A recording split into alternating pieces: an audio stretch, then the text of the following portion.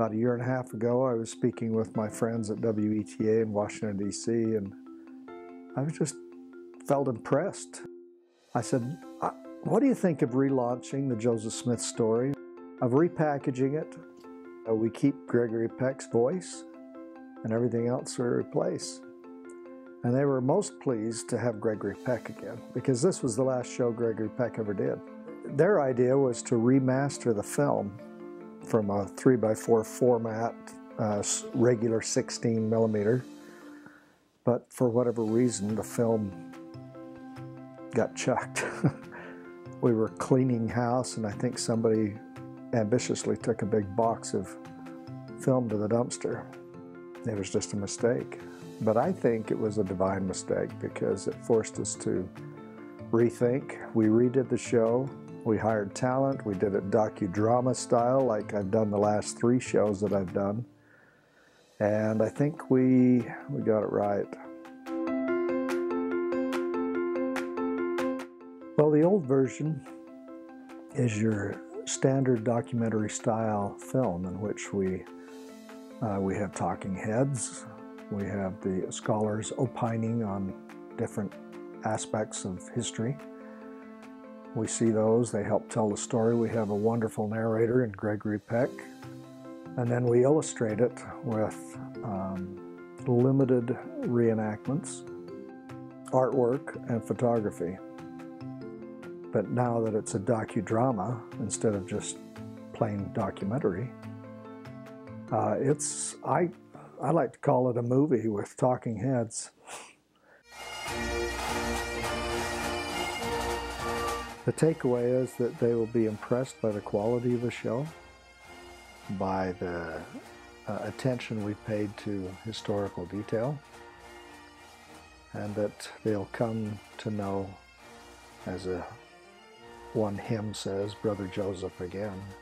One of the executive producers at WETA sent me a note. He says, I just finished watching it. One word, powerful. I want people to come to know Joseph Smith a little bit better, whether they knew him, or even heard of him. In fact, when I talked to Gregory Peck's daughter a couple, three weeks ago, she said, Who's Joseph Smith?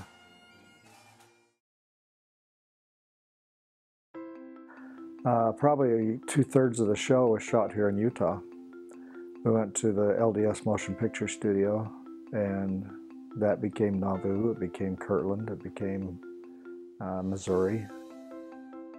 The Carthage jail scene was all filmed there. You know, he falls out the window and then looked down at him. But yet we just had this ugly, uh, dark wood siding. So thanks to Media Grabbers, a good uh, video effects firm, we took elements of the, of the real Carthage jail and painted it, so to speak, on top. Back in Genesee Country Village near Rochester, New York, we filmed Joseph and Emma's departure. We had a home that kind of looked like the mansion house.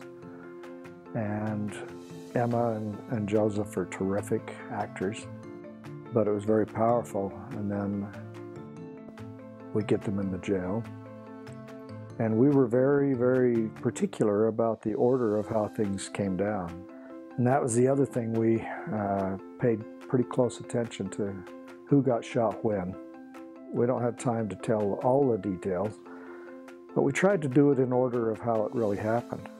We've had historians and scholars look at that and say, yeah, I think you did it right. I wasn't there, but now that's how it happened.